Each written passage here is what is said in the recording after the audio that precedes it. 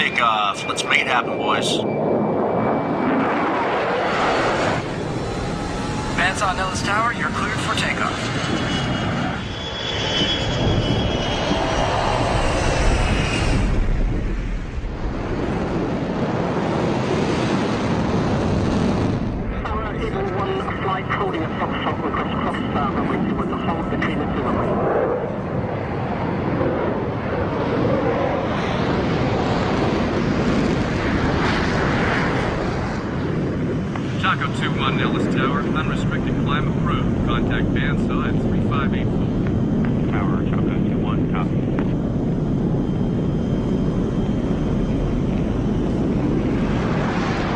It has long been known that if fighter pilots could survive their first 10 combat missions, their chances of surviving throughout their careers improves dramatically.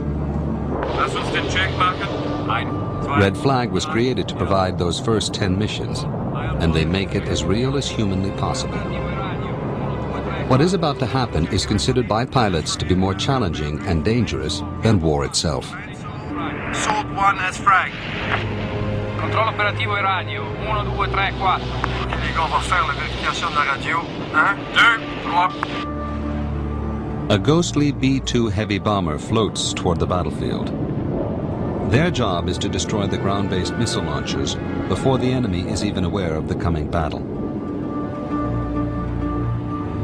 A pair of stealth F-117s follow close behind. B-1s have arrived from an undisclosed distant location to provide additional bomber support if necessary.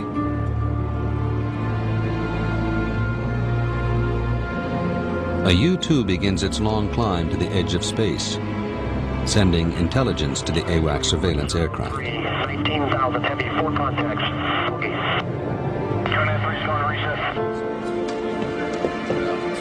On board the AWACS is Air Boss Major Rob Novotny. He will monitor the air war about to take place. AWACS crews use inputs from space systems and radar to understand the battle situation. Each aircraft broadcasts real-time telemetry that appears as three-dimensional imagery on board the AWACS.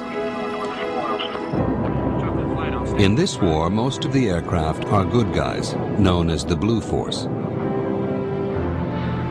The bad guys are the Red Force, or the aggressors.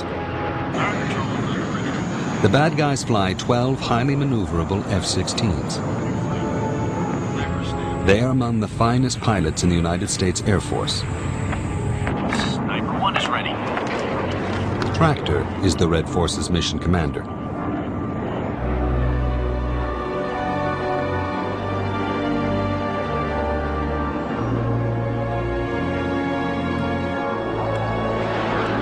For most of the pilots, Red Flag is their first taste of an air battle on a massive scale. There is no other way to prepare air crews for the real thing in all its precision, complexity, and finally, chaos. Yes, sir.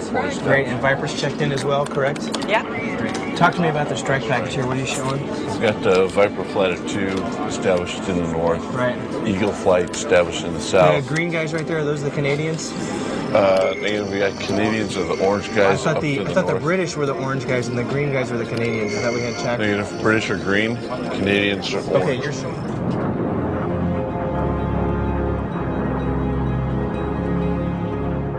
Five miles out, both sides begin firing heat-seeking missiles. Sniper flying. Deploying a tactical formation.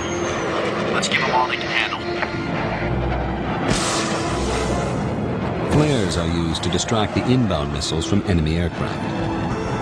Choco Flight, commit. Group Bullseye 3302. Vance on Choco, copy.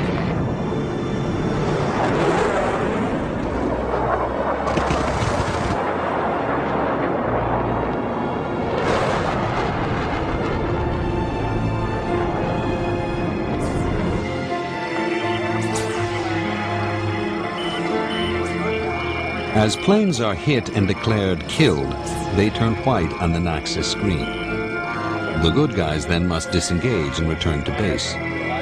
The aggressors get to regenerate and return to the fight. Once the battle begins, the air boss and his team struggle to keep 128 aircraft from six countries from smashing into each other. You see here Viper flights northbound at 6,000. You need to get on the phone right now. Get Viper and Chaco moving. They're going to hit.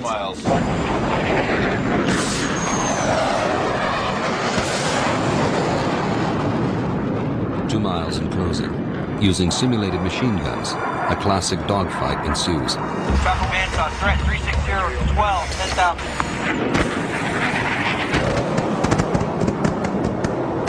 Sniper 1's Tally 2 ship, off my nose.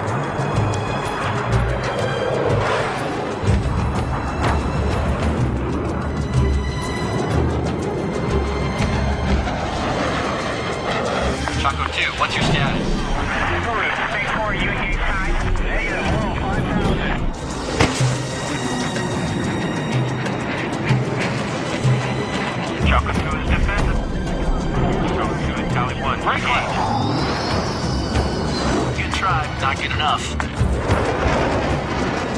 Sniper 1, he's pretty good. But I'm moving in for the kill.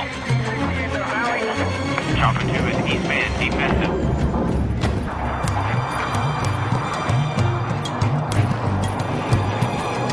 Sniper 1, targeted there. I'm moving in for guns. Chaco 2's engaged the cruiser. Chaco 2 pass. I've got shots in the air.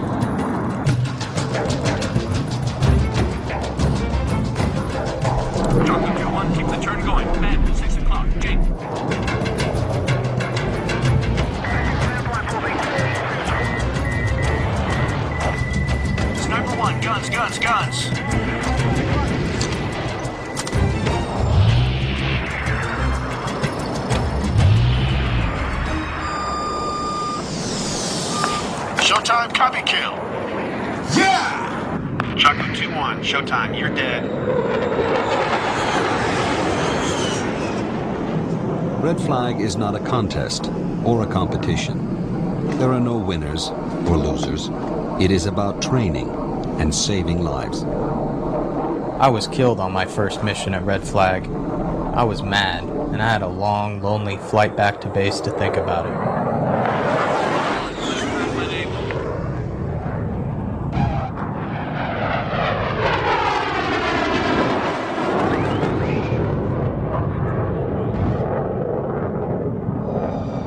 The commanders walk a very fine line.